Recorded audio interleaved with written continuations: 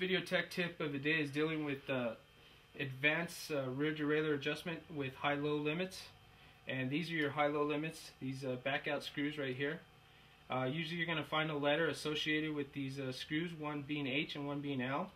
Uh, the H is being your high limit, and this will be dealing usually with your lower cog. your low limit is going to be your bigger cog here. And what you need to do is if you see this line here, with your rear derailleur, it needs to be lined up with your lower cog for the higher limit. And as you can see right now, we're not. So we're going to need to make this adjustment. And before we make this adjustment, first things first, uh, I'm going to go through all my gears and see what kind of rear derailleur I have. There is two different versions of uh, rear derailleurs. Uh, you're dealing with your standard rear derailleur where you start from the bottom cog and work your way up where a rapid rise rear derailleur will start from the bigger cog and work your way up. And one way to uh, find out what type of rear derailleur you're doing is uh, shift your uh, gears up. Let's come up to the middle. And I'm going to stop right there. And I'm going to come back to uh, my tension dealing with my cable. And what I'm going to do is I'm going to unscrew this and get rid of the tension on the rear derailleur. And when you do this, this should actually drop down, drop the chain to its natural starting position, whether it's the top cog or the lower cog. So now I'm going to pedal, and as you can see, I've dropped down to the lower cog.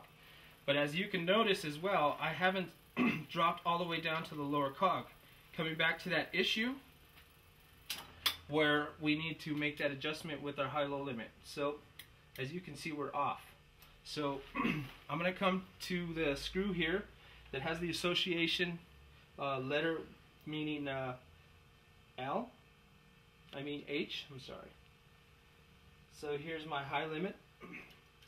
So I want you guys to watch this rear derailleur and uh, see when uh, it is lined up with the lower cog. So I'm going to turn this in.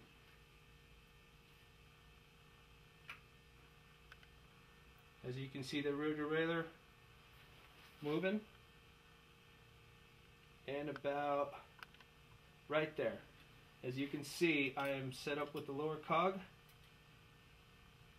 Now when I uh, come to pedal it, my chain should actually drop to my starting position, my natural starting position. So now you guys uh, can see that now we're properly set up with our high limit to our lower cog here. So what we're going to do is uh, we're going to come back to that cable that we loosened and we're going to retension it. And one thing we need to do before we do this, we want to back our barrel all the way in and then take two clicks out. Alright, so now I'm going to get that cable. I'm going to retension my rear derailleur, pull it as tight as I can, and tighten that cable.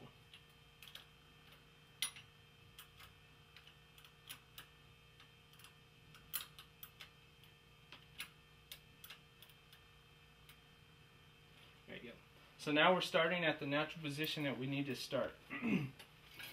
so I'm going to pedal and now I'm going to go through all the gears so I get up to my lower limit.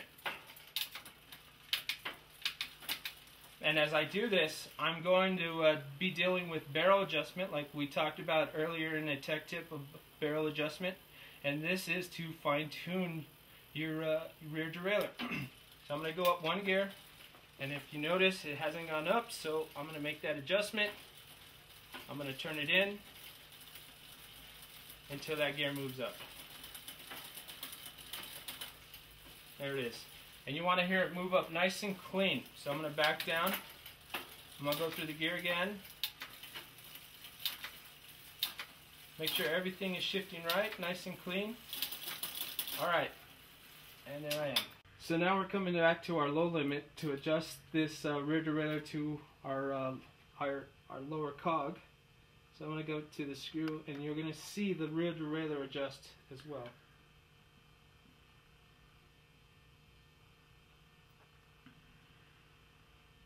Can't really see it, but it is moving.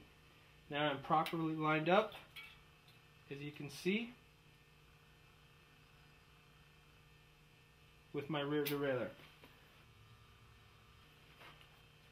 So now I'm going to go through all the gears again. I'm going to drop it down once. And now I'm going to shift up. And I should not have hesitation like I had before. There it is. I'm going to drop down all the way to my lower cog. I'm going to go through all the gears and it should shift nice and smooth.